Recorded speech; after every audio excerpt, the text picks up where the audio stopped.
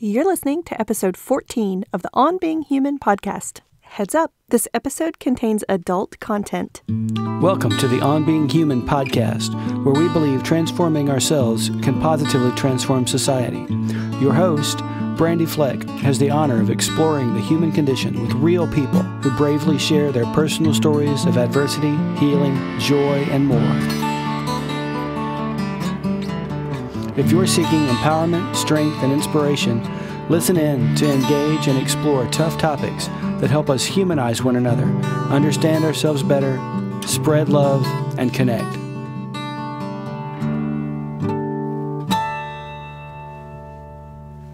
Have such a treat for you today, a really fun episode. This week's guests are Meg and Craig Smith, a married couple who aren't afraid to open up about intimacy in their marriage so you can start thinking about how you create intimacy in your own important relationships. Meg is a life coach, and you know I love getting life coaches on the show every now and then. She's known as Your Coach Meg and has been helping women with creative businesses build their dreams for eight years. Craig has a degree in psychology, is a success coach, and is also a senior executive for a venture capital firm. The couple's moved around over the years, meeting in the Southern California music scene, but lives in St. Louis, Missouri by way of Murfreesboro, Tennessee. They have five grown children from Craig's first marriage, who Meg immediately loved as her own and later adopted. Their marriage to each other is a second for both. So tune in to laugh along with this animated and super sweet couple who genuinely enjoy each other's company so much you can hear it dripping through their voices. Plus, hear what they love about each other and what they put in their naughty stockings at Christmas. Oh, and one more thing. Remember the love story contest that ran through December and January? Let's hear from our winner real quick. Hello, my name is Brittany Fisher Kearns, and I wanted to add something for the Valentine episode about my husband Scott. Uh, well, my favorite story about us being together is that when we first started dating, we ate out a lot and gained a, a good amount of weight, having a good time.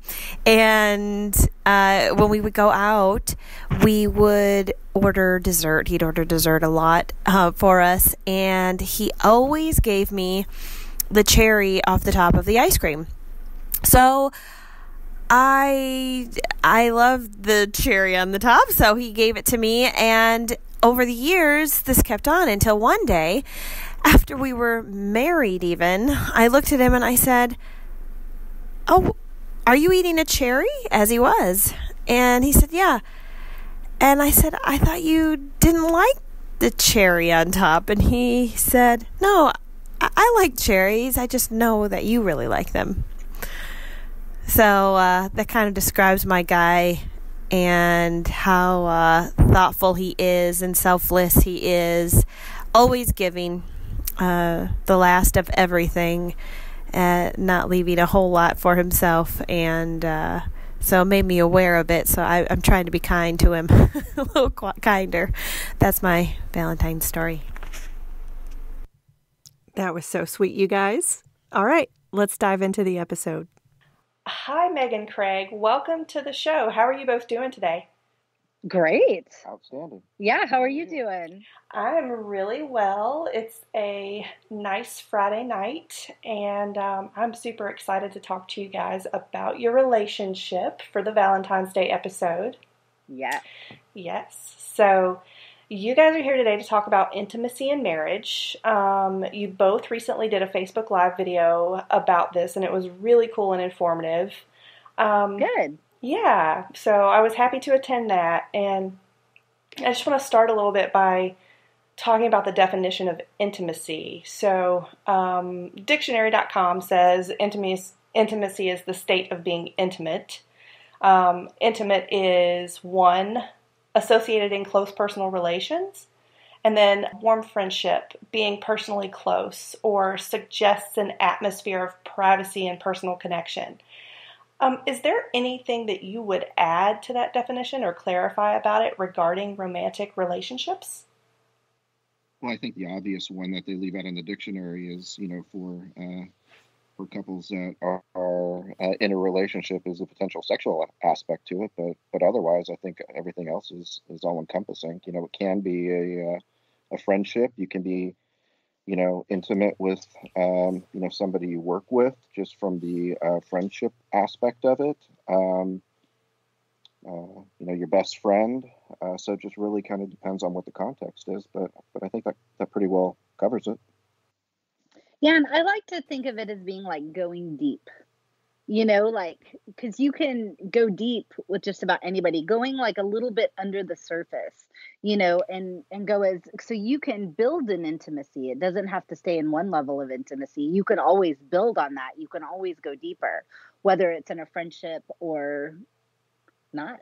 Oh, yeah, that's a really good point. So would you say that like like the first level of intimacy might be friendship and then it sort of goes as a relationship uh, like would turn romantic or is it just different states of friendship or different states of a romantic? Yeah i think it's different stages of of friendship and you know romantic or not or whatever. I mean because you can have a friend that's just maybe an acquaintance that you talk to every once in a while maybe not so intimate. But as the as you you know get more comfortable with each other whether it's romantic or not you're going to probably go a little bit deeper and build in that intimacy in the relationship. That's a really good point. Well megan and i started out as friends and kind of you know built into best friends and then you know into a romantic relationship. So just depending on the dynamics, you know, I, I would say that's certainly where it starts.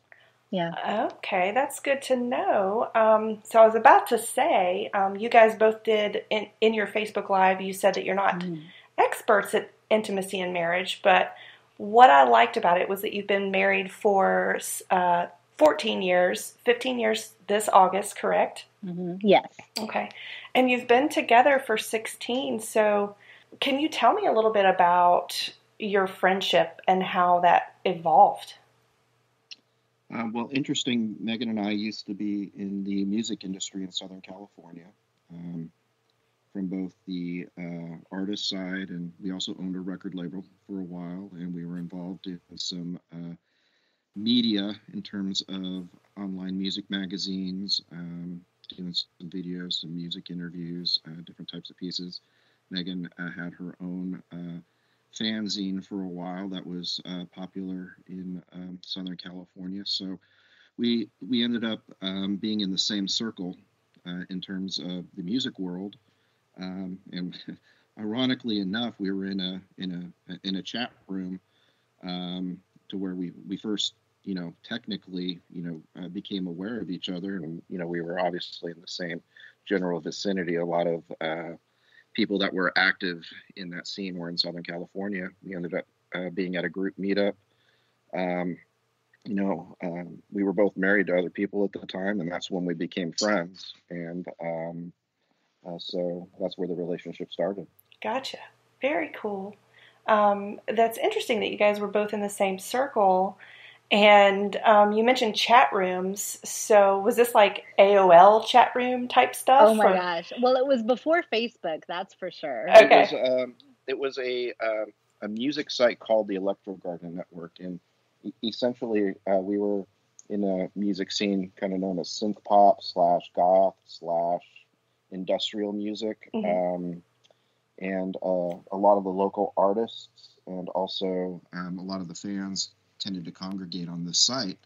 Um, it was also it was worldwide, so it, you know we made I had friendships from that from you know, people yeah. from Europe that we're still in connection with that are also in the music business. Um, and uh, it just so happened a, a, big group of us were from the Los Angeles area, and a lot of us connected, and you know, we were involved in music festivals, uh, meetups, you know, a- attending each other's shows, going to different shows together. It, it was an interesting time. It sounds very cool. Um, so let's learn a little bit more about you guys. What what do each of you do for a living? Where are you from? Um, I know you mentioned California, but um, maybe where are you living now? Um, uh, how many kids do you have? Things like that. Sure. Well, um, so I am a life coach. I um, and helping women, creative small business owners, uh, just absolutely for their dreams for the past eight years now. So i have clients all over the country and um, i do i do meet with people in person here in st louis where we're living but then i also um, have clients just all over the place that we do video and phone calls and um, and i absolutely love it. Um, and we have five kids and um, they're all big old adults now. Awesome. Um, yes, our youngest is 20, our oldest is 27, and they're all from Craig's first marriage. So I don't know if that's a good segue into Craig, you talking about what you do. sure, I'm a senior executive for a venture capital firm here in St. Louis. Okay. Uh, I was born in Chicago, grew up in Southern California in Orange County. Um, I've lived in Seattle, um, Boise, Idaho, obviously Nashville. Uh, we spent almost 10 years in Nashville. So uh, we spent almost two years, a year and a half in uh, Phoenix, Arizona. So we're well traveled and we're kind of from everywhere. Yeah, for the most part. Yeah. Gotcha. So did you move around a lot for your job? Yes, absolutely. Okay. So, what is the most important thing in life to both of you? Well, the cliche answer is each other, right? that's hey, you're on a relationship show. Say each other, right? Uh, but to be honest with you, it is at least for me. You know, yeah. it, it's Megan and our family. Um, you know, I've you know ch- chased the almighty dollar. I've chased fame. I've uh, chased just about everything that you know is alluring to most people in this world, and had varying levels of success or failure in these different areas. And I can honestly tell you that uh, Megan changed my life. Um, you know, she gave me hope in, in a time that was very, very dark. And, uh, you know, she's, uh, she is my world. Oh, that's so sweet. Well, I was going to say something similar. For me, it's relationship just in general. I just, I'm, huge on just knowing people and going deep and being intimate on you know on lots of friendship levels and and all the things. Um i love knowing people and really seeing authentically who they are and i feel like that's what it's all about. It's about people and relationships.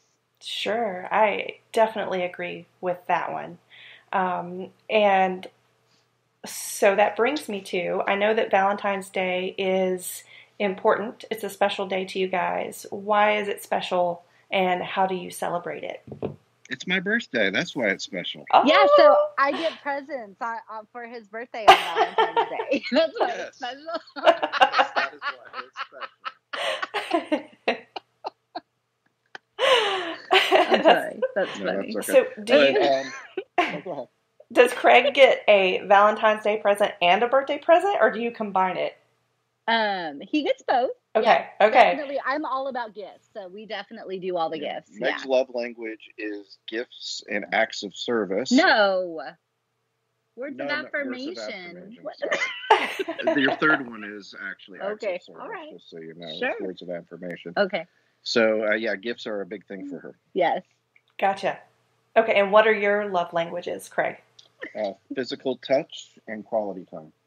All right. Those are so you've got a lot of things, a lot of love languages covered there. You guys Right. Yeah. So you did mention that this marriage is a second marriage. Um, I know for Craig, but this is a second marriage for both of you. Is that right? Yes. Yes, it is. I was married just for a year and a half. Um, and he was married for a lot longer than that. Um, but yeah, my first marriage was only a year and a half, so there were no kids or or anything like that. Okay. Yeah, I, was married for eleven years um, before we separated. Uh, I got married very young, um, so you know, uh, had to be figure out ways to uh, try to uh, support a large family. We ended up having five children. Very unconventional situation. Mm-hmm. Uh, when we separated, Megan um, ended up uh, being the full time uh, caregiver to our children once we got together. They view her as mother, um, they call her mom. Um, she ended up legally adopting them all. um, at one point, so she's on their birth certificates and everything. It's a Awesome. very unique relationship. Uh, even though the kids kind of look like her, so you know. plus, Megan, you know, uh, you know, I'm in my uh, middle 40s. Megan's in her uh, early 40s, and um, she looks young. On top of that, you know, she actually looks like she's probably in her late 20s. Um, so we get a lot of weird looks. yes. Um, when we start talking about we have a 27 year old son, uh, you know, our youngest is 20, and funny story is um, our oldest son had surgery last week, and they thought that she was his girlfriend. Yeah. Oh no. They thought my mom was his mom and I was the significant other, and Oh, it was precious. Yeah, yeah, he loved that. Well, he was drugged up. He didn't know. but but so that that's a you know a little bit you know just in a very very small uh, you know snapshot Yeah. um, you know of what that looks like Gotcha. So, um, do you mind if I ask why or like how you became the full time caretaker? How much time do we have? so, well i'll start and then i'll let kind of uh, you know, megan uh, kind of jump in Okay. um, uh, when we got separated uh, with my uh, previous uh, marriage um, uh, she really struggled in a, in a lot of different ways she had struggled all her life and you know various different different uh, relationships and without you know going into too much detail because i you know i don't want anybody that knows her or thinks anything you know Sure. About her in, in a negative way, but she just had a really hard time, had some really challenge, some really big challenges in her life, and she came to the conclusion, and it became very, you know, very obvious to to everybody that she just wasn't going to be able to um, fill the role that the kids need. And I give her a lot of credit for coming to that realization. And uh, For sure. you know, we ended up having full custody of all the kids relatively quickly Mhm. um, once we were together.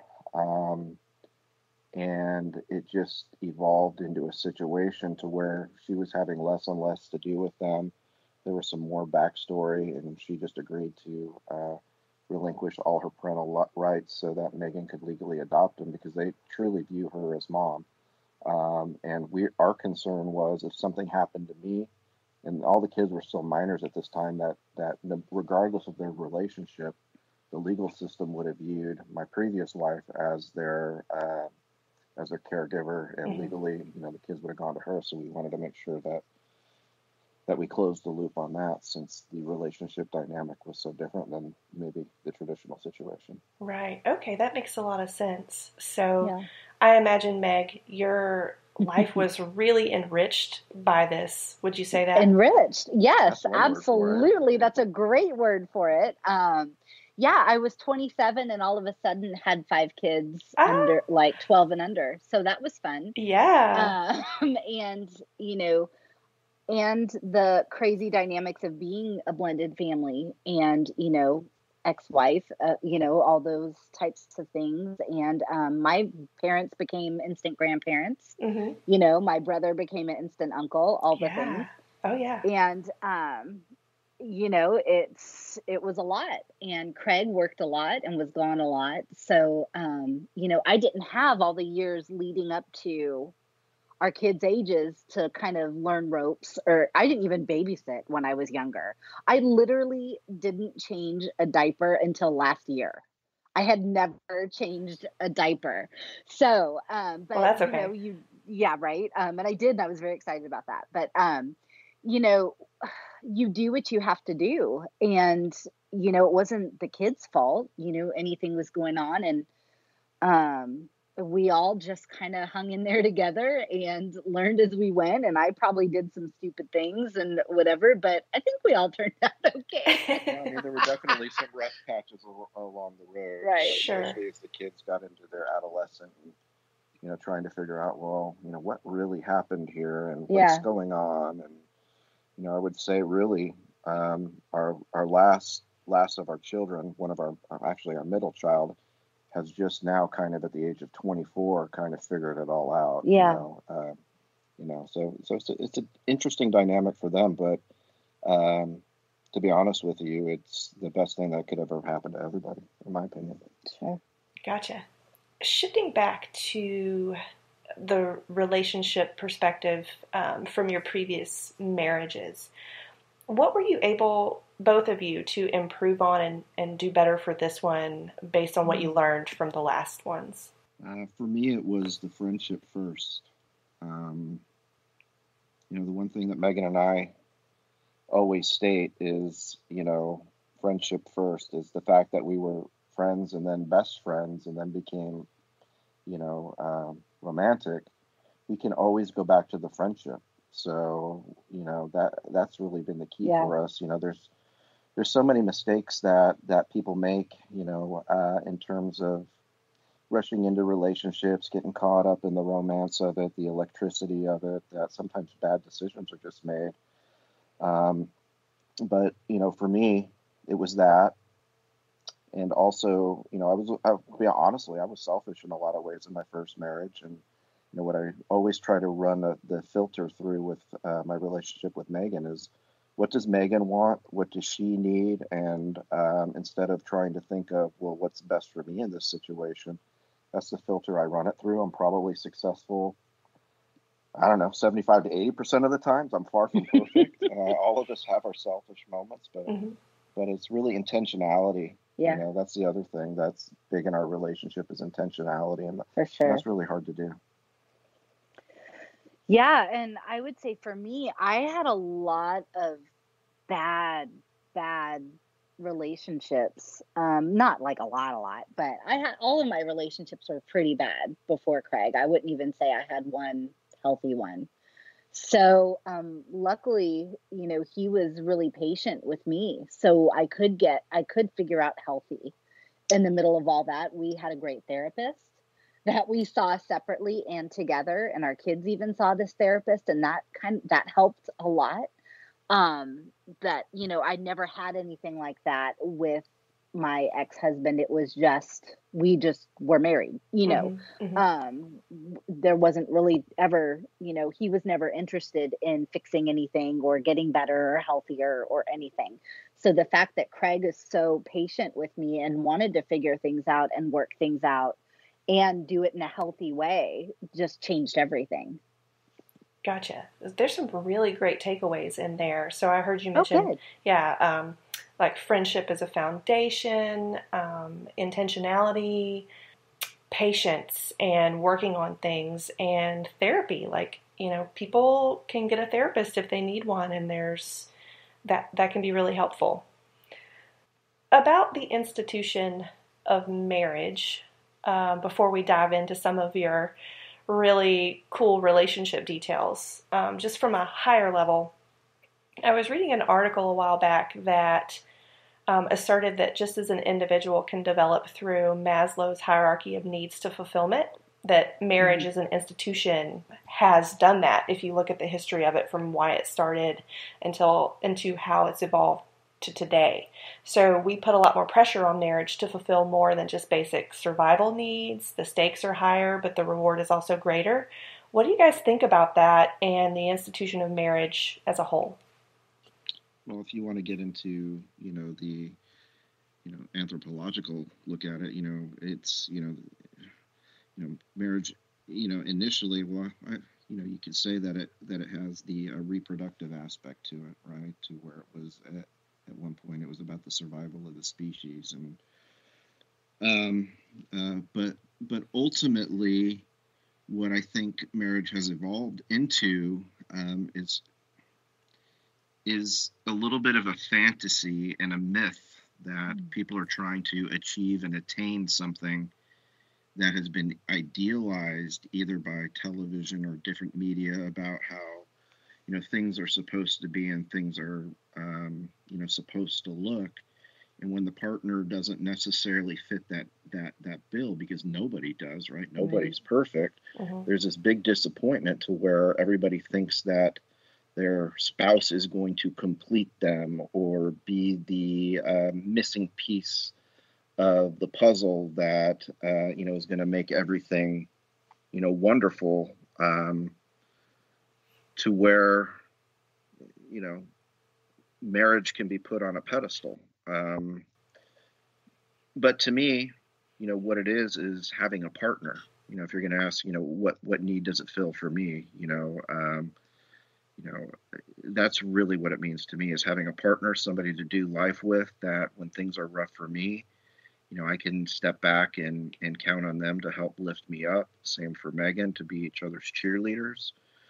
So you know, you can kind of you know get really really deep into this and you can get into a lot of the psychological aspects of it but um, you know th- that to me is, is is what it means to me is you know more on the higher level of the hierarchy of needs um, you know they, they say behind every great man uh, is a woman well that's obviously a kind of a very sexist uh, approach to it but i think what they're really saying is that behind any successful person, there's usually somebody in their life that has been supportive of them, whether it's a friend, whether it's a spouse, whether it's a family member.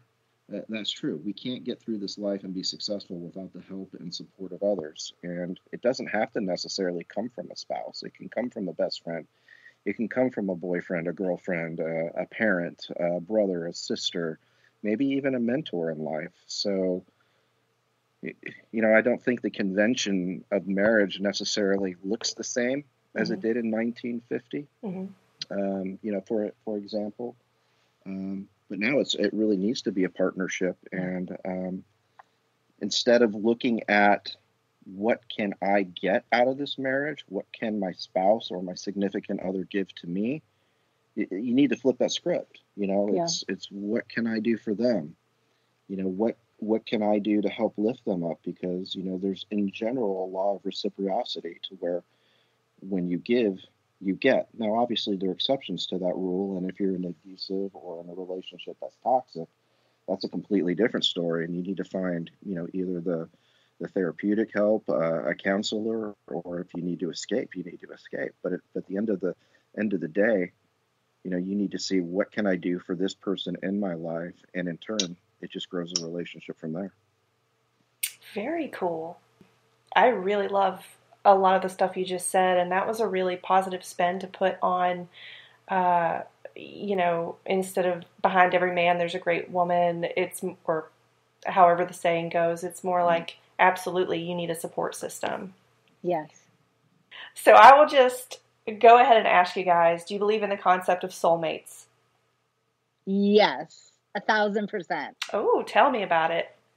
I just, I mean, done. Like, that's definitely us. And I can't imagine anything different. So, I mean, and we, I think we knew that, like, in the very beginning. Wow. Like you were mm, brought together. Yeah. Yeah, there was an instant, you know, chemistry and friendship between us that just was otherworldly, to yeah. be honest with you, even when we were married to other people. And, you know, I, I, am not going to say that our relationship together is what caused our divorces because it really didn't. There was, you know, oh, a gosh, bunch of no. other things that were going on. Mm-hmm.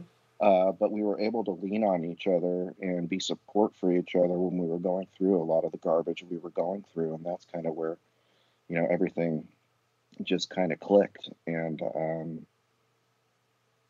you know, uh, so, so I, I firmly believe that there's a reason why we're together, and you know, uh, you know that um, we found each other when we needed to, and um, I think we were just smart enough to realize it.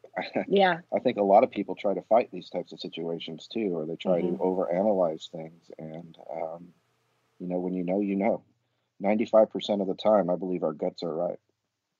Well, because, you know, like I wasn't, you know, a little girl fantasizing about marrying a man with five kids when I was a I little kid. anybody. you know, like that, that really wasn't it.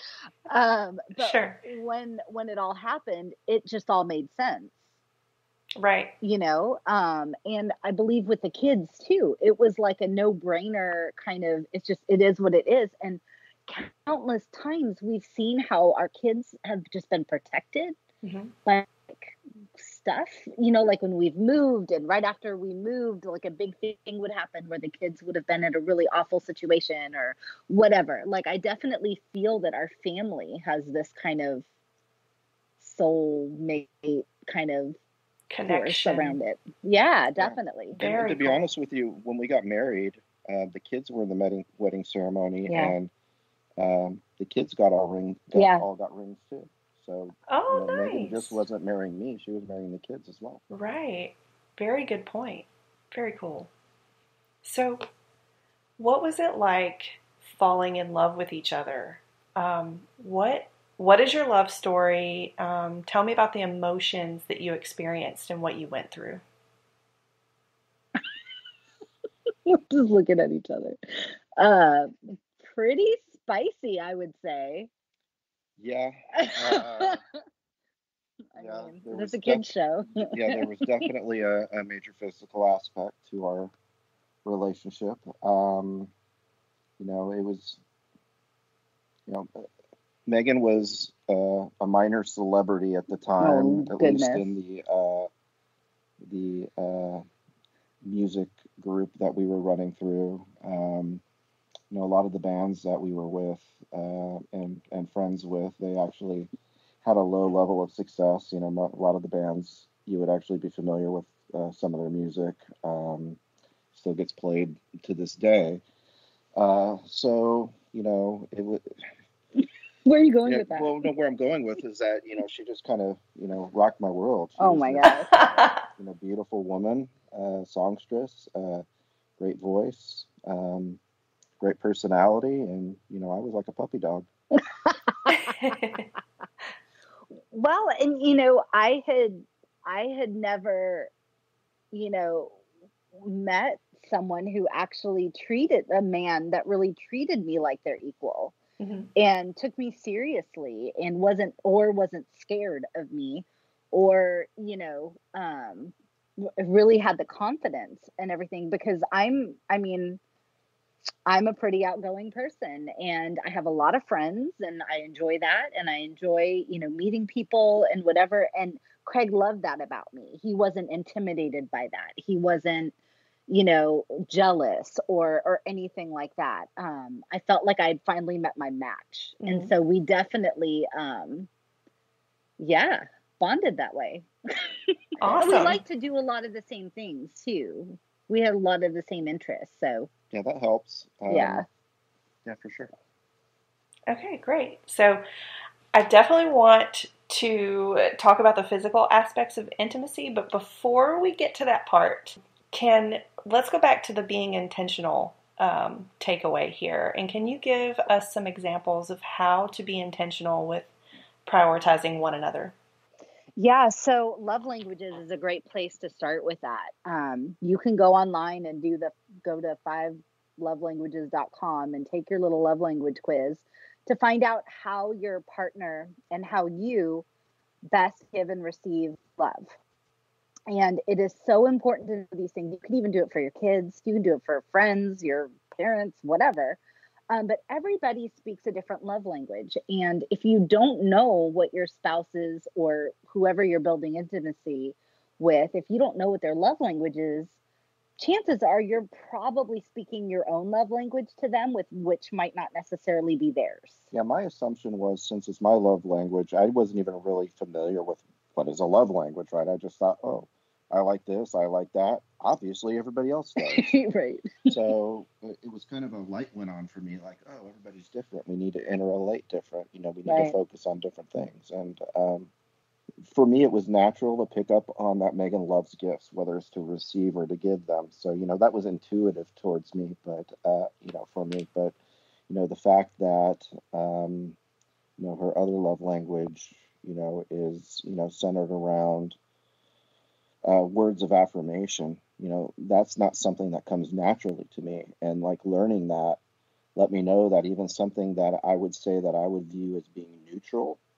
to, or even, you know, maybe accurate, if I was going to say something corrective or something that I thought that I wasn't happy with, unhappy with, that might affect me on a scale from one to 10 as a two in negativity, might be a 10 for her. Oh my gosh, I'd be crushed. Yeah. So I just had to be very um, aware of, you know what, the words that I'm using, I have to be very careful about. And I tend to have a sarcastic sense of humor. hmm And, you know, I still am, but, uh, you know, I, I just really am, am careful about what I'm sarcastic about because, uh, you know, words cut. And even if you don't, don't mean it intentionally, Right. You know, the, the other individual is going to have a, a, completely different takeaway. And, um, you know, I think, you know, the fact that, that um, my love languages are, are physical touch and, um, you know, quality time, I, I think that was a, a, a light went on for Megan as well. Yeah, for sure. Because where he scored like a 10 on physical touch, I scored like a one.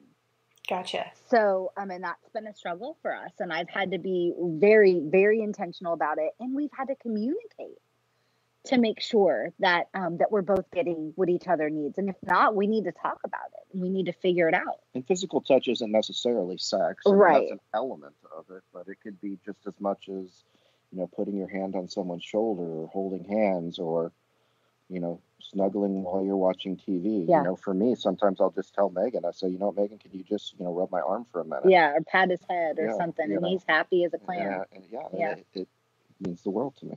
Right. So, I mean, that's where I like to start with the intentionality. The other thing that I could bring up would be about like when he traveled a lot and was gone a lot, we had to be intentional in thinking outside the box to build intimacy. Whether it was, you know, um, I, you know, I would, I would hide cards and little gifts in his luggage, or he'd always come back with a stuffed animal for me, and I had a lot of stuffed animals. Um, or that, because he was gone a lot or like FaceTiming while you're away, or you know, even one of our kids had the coolest idea. They were in a long distance relationship. He and his girlfriend at the time, they would cook the same dinner where they were, but they would do it over like Skype. So they were both having the same dinner together, like a date, but they were far away. Oh wow, yeah. So like thinking outside the box that way, you know, so that you um, are intentional about about your relationship and speaking those love languages to each other. Sure. Um, so has how you're intentional changed over the years? maybe what we're intentional about is Yeah. um, you know i think we all go through phases to where we get lazy and we forget. Um, or you know life gets busy and you forget but we always tend to you know you know come back to it. Um, but i would say maybe the the things we're intentional about might be slightly different um, just depending on the period of, of life we're in. And what Uh, the needs are, I think, yeah. too. So I don't, I, you know, intentionality really, if you're going to be successful at it, needs to be something that becomes a habit. Yeah. Um, It's just a way of life. yeah, there probably uh, it probably is just automatic in some instances. You know, at this point, like when I go to a when I go to a store or a boutique, you know, sometimes I'll try to go out of my way to to see something, find something different or unique, and it just becomes a habit. Um, matter of fact, I think sometimes I overdo it. Uh huh. It's great Um, though. Don't stop. um, but you know, I think what really happens is the longer you get to know somebody, the more you kind of hone into your target target area and, Yeah. and really you know pay attention to to things. With the other, you know, sometimes I'll just listen to what she says, you know, with her friends or things that she posts on social media or comments she makes, and I just make a mental note of it. And if I happen to be somewhere, or maybe I go out of my way, or I order something online, and Yeah. And it, and it'll just show up. Like for example, Christmas this year, she probably got a ton of gifts, but they weren't all just on Christmas. They just Yeah. all kind of trickled in because I have this problem of getting something that I know she's going to be really excited about and not being able to wait to give it to her.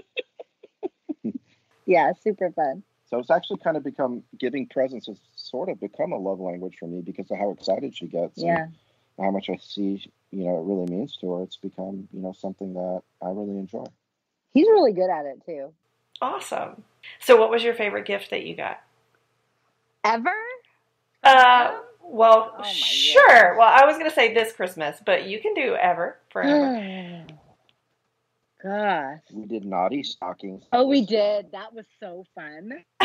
Oh my gosh, yeah, we each gave each other a naughty stocking for for Christmas where we just we filled it full of naughty things that we thought the other person would enjoy. okay. And that's been fun going through that. Yes. Can, can you tell me what what goes into a naughty stocking? What are some of these things? I mean, what doesn't go into a naughty Uh, stocking? So uh, there's sex toys in there. Yeah. not safe for what coloring books because I thought it was funny. Um, boy, Handcuffs. handcuffs. oh, Uh, uh, there was a lot in there. Yeah, Uh, that was pretty fun. uh, that's a good idea. little Yeah. uh, clamp on body jewelry, and I'll let you use your imagination on where those go. Okay. three different spots. Uh-huh. Um, you know, just you know, uh, lots, lots of fun stuff like that. yeah. Very cool. Probably went a little overboard there. Oh my gosh. We'd never done that before. That was fun. That was, and you know, I'll tell you, with being the fact that the fact that we've both been married before, we don't get firsts a Mhm. whole lot. You know, in our in our 16 years that we've been together, it's hard to find first. Like when we got married, well, we had already done that before. He's already had a bunch of kids. You know, like we'd already done, you know, a lot of things. So whenever we find first, we pretty much celebrate the crap out of them. So when we thought of dirty stockings, we're like, yeah, first. Here go." yeah, that's a really good point.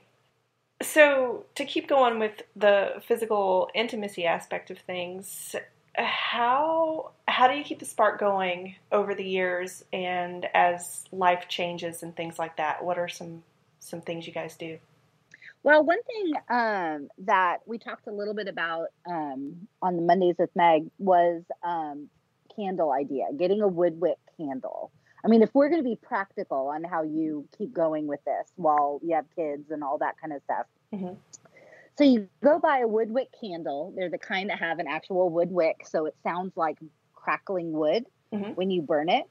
And you make a deal with each other that if one of you lights this candle, you're telling the other one you want to be intimate. You want to be intimate that night. It's kind of like your bat signal for, you know, for so you don't have to say it and you don't have to feel like, you know, um like you're bugging them or whatever Or begging for. or begging or whatever, you know, because we do that. We end up feeling like, gosh, you know, I'm always the one that has to whatever. Mhm. So, um, so whichever one of you lights this candle, you're sending the signal to the other person that you want to be intimate.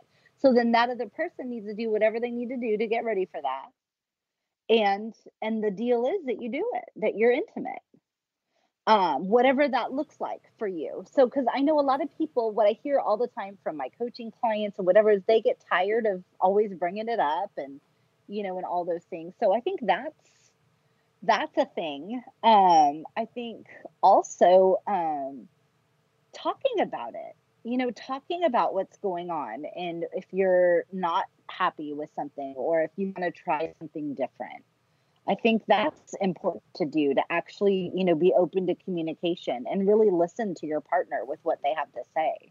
And one of the things we've done recently um, is there's this app you can get, um, you know, in in your local app store uh, that's called Desire, and it's kind of like a truth or dare type concept without the truth. To be honest with you, it's It's just there. it's just dare, and Okay. there are different um, template type, you know, dares in there that are either relational, sexual. Um, You name it. y- you name it, Every it's kind of love there. language is Every kind of represented. yeah, absolutely. And um, you know, you can either you know do a template dare, community dares that other people have created, or you can create your own. So maybe one might be an example of is um, you know go to your local bar, meet there separately, pretend it's you know your first date, or and you're going on a blind date, you know things like that, or yeah, you know what are some other examples that you can think of?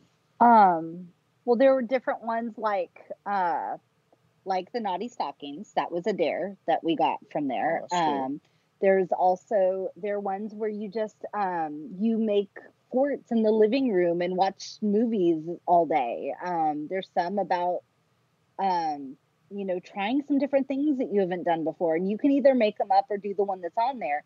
But then you can pick the time frame that the person that your partner has to complete the dare and then you get points and the more points you get you unlock spicier type dares Yeah, I mean, it, it rates. There's different, like there's, uh, you know, mild, hot, um, spicy, and like chili. You know, Yeah. so you know, there's some pretty far out things in there. To be honest with Yeah. you, that you know maybe not everybody's going to be comfortable with, but but it's but again, fun you have the uh, you have the option to say, nah, that's not really my thing.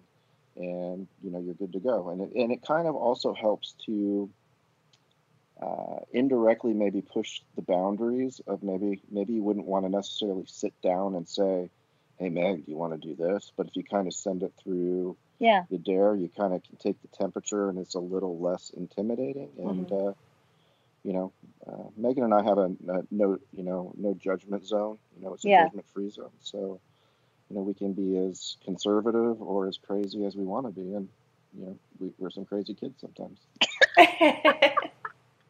That's But I mean, cool. it's a great way to kind of spice things up a little bit and just get out, you know, do something different because it's easy to get in a rut after you've been together for a minute, Sure. you know, to just do the same things and that gets boring. So it kind of helps you think outside the box a little bit. Absolutely. Okay, so from a professional perspective, as a life coach, Meg, and as um, I know in Facebook Live you mentioned that you're a success coach, Craig. Um, what would you say to a couple who is struggling with physical intimacy? Ask if they've actually talked about it and and communicated with each other. And if that's something that they're struggling with, then I would suggest that they get some professional help with that. Yeah, what's uh, you know there are there are you know uh, professionals um, that deal just with uh, sexual and relationship issues. Um, you know, obviously there are uh, intimacy experts out there. There are sex therapists. There are um, you know uh, you know counselors out there. Just need to make sure that you you have somebody that's uh, comfortable and, and kind of knows Yeah. what they're talking about. You know, in that particular particular field. But yeah, the first thing is communication. Um, getting to the bottom of what the issue is. I mean, we've had our issues at times. Um, Yeah. Everybody does. Mhm. You know, it's just it's just human nature. You know, is it something that's medical? Is it something that's psychological? Is it just you're too busy? Is it not being intentional? You know, you just need to have that honest communication. But too often, and I fell into this trap a lot, is to where, you know, I would take my ball and go home. You know, maybe I did, I felt I wasn't getting the attention that I wanted, and you know, I felt, well, why should I have to tell her? Blah blah blah. She should just know. I mean, that's just counterproductive. You know, that right. It's that's just helpful. that's ultimately being selfish, right? You're you're putting the onus on the other individual to where, you know, uh, you know, if you need help or if something's going on, you need to let the other person know, and let them know why it's important to you and Yeah. what the struggles are, and maybe you'll find something out. You know, maybe you know if it's a it's a woman that's not getting the attention, you know, from from their uh, significant other, you know, maybe there's you know something going on they don't know about. It could be medical, it could be you know it, it could be you know depression you know i, I think more often than not if you get down to the crux of why you know somebody's struggling with intimacy it usually has something to do that's going on between the ears either a, Right. either a perceived slight or real slight um, or you know maybe a, a a notion or a thought in their head that's not accurate you know they're oftentimes you know if i'm feeling insecure and you know i have i struggle with that from time to time um, you know i can make a bigger deal out of something that really isn't tended to be that way and if i don't communicate it i'm just going to stew in my own juices and it's going to get worse Yeah, That makes a lot of sense. So, really good stuff there. And um, one of the things that you mentioned earlier that I really liked was the no judgment zone.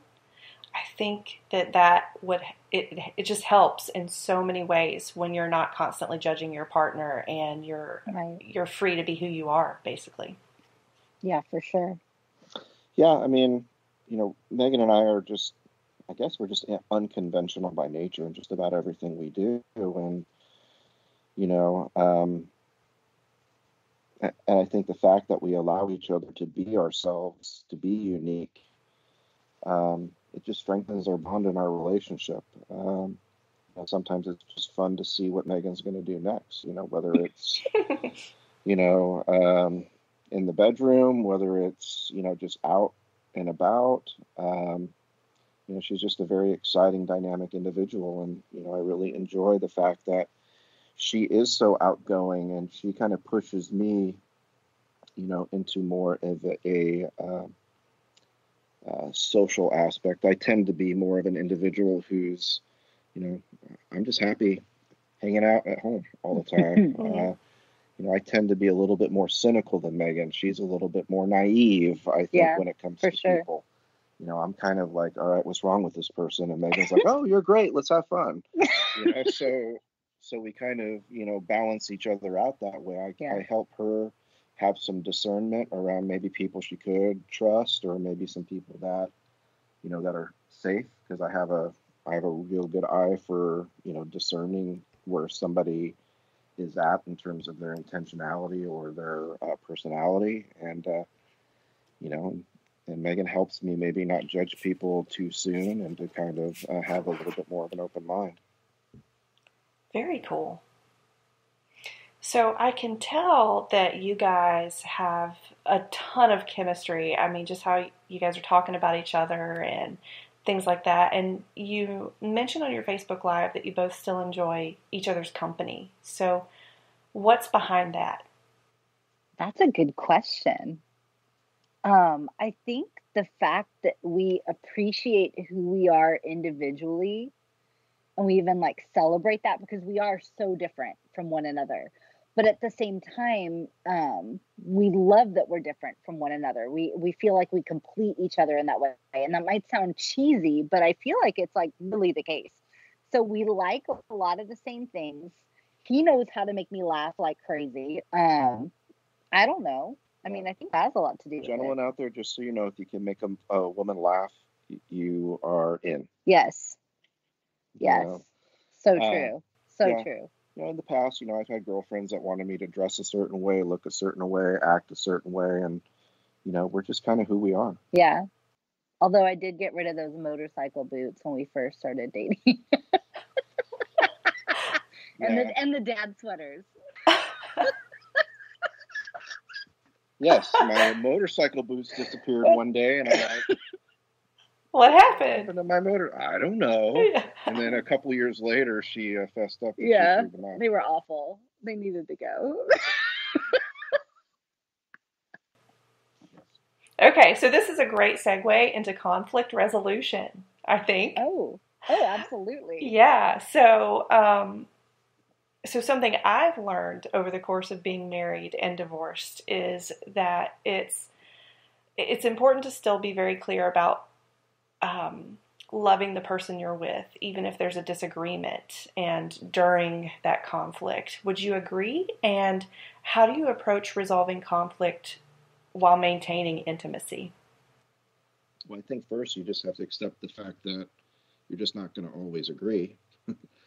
um, you know, secondarily, I've learned that I need to take a time out sometimes. When we were, And I need to let you take a time out. yeah, there there were times to where Megan and I would get in a disagreement, and even if I knew I was wrong, I wouldn't admit I was wrong because I wasn't going to admit I was wrong because I was mad. and she would keep pursuing me. You know you're wrong. You know you're. Wrong. I'm like, uh. No. So we, so, so so usually what would happen is I'd be like, all right, I need some time. Go away, and um, you know she'd go away, and then I would have time to reflect on it. So I think too often we try to have resolutions or or come to some kind of agreement when they're when emotions are running high when actually sometimes the best time is just to take a time out um, you know that there's that old adage don't go to bed angry Mm-hmm. well maybe uh, but if nothing good is going to continue to come out of that conversation that night if you know maybe you do need to take a time out whether it happens to be you know going to bed or maybe it happens to be you know you take 30 minutes and you go for a walk and you know usually i would uh, come to the conclusion you know well there's a different perspective on this um, and i also came to the conclusion pretty easily that you know if i wanted to be happy and if i wanted to have a good relationship it was less important about who is right and it's more important about all right you know how do i make megan feel the way she needs to feel without compromising my integrity and at the end of the day almost everything that we were in arguments about was superficial anyways if you get down to the get down to the brass tacks of it and you know I, I just became less interested in being right and more interested in being happy Yeah. That's a really good good point there. I, I don't know. I, I, also try not to take myself too seriously. Yeah. Um, Sure. You know, that's hard sometimes for men to do because you know there are there are roles and expectations we're supposed to play in life, just like you know there's socio um, you know uh, roles that a lot of people expect women to play, and those are all changing, and it's you know it's a it's a dynamic that's in flux, and a lot of people are trying to figure out you know what are the rules in uh, 2019 because maybe they're different than when we were raised. Uh, they might be different than last year, and you know I, I think it's just important if you put other people's thoughts and feelings you know ahead of your own. Yeah. You know if you whether you agree, for example, if if somebody let's just use a, a hot topic right now. It's transgendered. It doesn't matter what I think. It's like, how do you, how does that individual feel? How do they want to be treated? It's not for me to like, you know, force my thoughts and beliefs down somebody else's throats because they're not going to be receptive to it anyway. But, you know, it, it, it really comes down to, you know, caring more about other people, whether that's your spouse or Right. your friend or the person you're sitting next to in the diner. You know, it- it's just, I don't know, it's just being being nice. Yeah. Sure, yeah. What do you think your kids have learned from how you treat one another? And do you see the impact of that in their lives? I think they've they've learned uh, how to how to really care for for other people. I think like in, intensely, intimately, really caring. I, Mhm. I believe that that's something that we really share, whether it's w- what they see in our relationship or even how we care for them or just other people in our lives. Um, that's something I think is just really caring deeply for um, for other people, including us. Yeah, one of the things that's important to me is that we're modeling, you know, what they should want in relationships in their own life. Mhm. Um, you know, for example, you know, Meg says all the time, you know, to Vicky, whenever I, I do something that particularly means something to her, it's like, pay attention. This is who your partner, you know, should, this is how your partner should treat you. You know, this is what you need to be looking for in somebody else. And, you know, I, I see that in, we have one son that's married, and I see that in his relationship with his wife Yeah, um, as well. And actually, I think we've had an influence on her as well to what, Sure. what she's seen modeled in our relationship. So whether it's good behavior or bad behavior, everybody's paying attention. yeah. hmm And you know, um, Well, and we we make my mom roll her eyes at us all the time because we're so cute, and and she'll just go oh, you know, and roll her eyes. But um, he'll all the time. He'll just, you know, if we'll have a room of all of our family or friends around, he'll just come up and give me a hug and just say how much he loves me, or he'll say, "Isn't Meg great?" And just you know all these things where everyone might roll their eyes, but he's showing them just how much he cares for me. hmm And I think it's important for our kids, you know, to see that. Very cool. So, Meg, how did bonding with your children at first contribute to the bond that you have with Craig? And then Hmm. after you answer this, I will post would pose the same question to Craig, but how did that interaction make you feel about her? Well, honestly, like kids and I pretty much bonded straight away. Um, our oldest and I, he he was the one who was kind of like not sure, but um, so I really just met him on his level and was into stuff he was into and asked him questions about it. I I read books he was reading. You know, I really showed an interest and got along great pretty quickly. Um, but I really did with all the kids, and you know, I just you know i played with them but i also let them know my boundaries and i was i was clear with them on you know that i wasn't trying to replace their their biological mom and i just was there to be who i am to them. And um and it just was like a natural kind of fit for us. I don't really know how else to put that. Sure. um, for me, yeah, the the the moment that just kind of pops out into my head is that our middle son, um, Dustin, was eight when um, Megan first moved when we moved in together, and um, and I just remember a particular time. This was before we had them full time, and we had our weekly uh, visits. You know, we had the kids every weekend, uh, and I just remember a particular time that Dustin was just down and sad. And Megan took him into our bedroom, and he he laid down on the bed, and Megan lay, laid down next to him and was just tickling his back and you know and holding him and making him feel safe.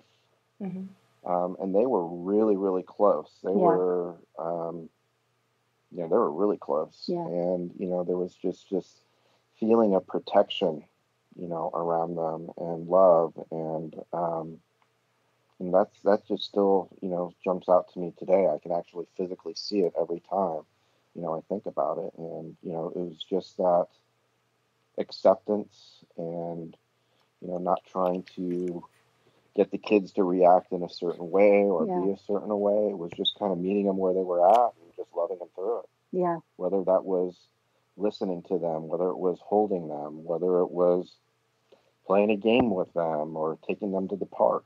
You know, it was it's just not trying to force an agenda. Yeah. Well, and I think, you know, the other thing is too, you know, at whatever, you know, ages our kids were at, when it was appropriate, we were honest with them about about questions that they had and just about, you know, uh, like with me with you know they eventually had questions about my ex-husband and other relationships i was in and i was honest with them about it mm-hmm. especially with my daughter you know um communicating to her things that aren't okay and you know she is such a good head on her shoulders with all of that very wise um, but I know Craig too, like his whole thing when the kids were younger, like dames are trouble. And you know, like um, you know, like wait. And that's the thing we just we just kept saying, be patient and wait and wait till you have a best friend and you know, and try to do that first. And it's stuff that's totally counterculture to what society tells you, but I'm telling you it makes all the difference. Yeah, because when I was young ish, I guess under 20 um, or 21 or under, every bad decision it seems I made had something to do with a relationship with a girl. Mm-hmm. Um, so you know, I just kind of uh, you know related that to them as be careful, dames is troubles, and you know, you just not that they're that they're necessarily the problem. I was always the problem, but right. you know, or maybe I, not making big decisions in your life when your life isn't even figured out yet. You know, and those kind of things. You know, basing decisions on on a girl or you know whatever. Gotcha. Yeah. Being best friends. Yeah well very cool. And and then so something i ask every guest who comes on the show is what does being human mean to each of you? Being human means making lots of mistakes and giving each other grace to survive it to me, being human means to love ridiculously, even when you seem like you're the craziest person on the planet. I just want to thank you guys for coming on the show today. And thank you. yeah, it's been a great conversation. Awesome. We've had a, a good time too. Yeah, really appreciate it. So much fun. Don't you just love them as a couple? So sweet. Um, for all the really cool things that they mentioned in this episode, including a link to that Desire app, go on over to the show notes at onbeinghumanpodcast.com front slash episodes front slash 014. Leave a comment, leave a question, and I hope you're inspired to go build some intimacy in your own life, not only on Valentine's Day, but every day. That being said, have a very happy Valentine's Day.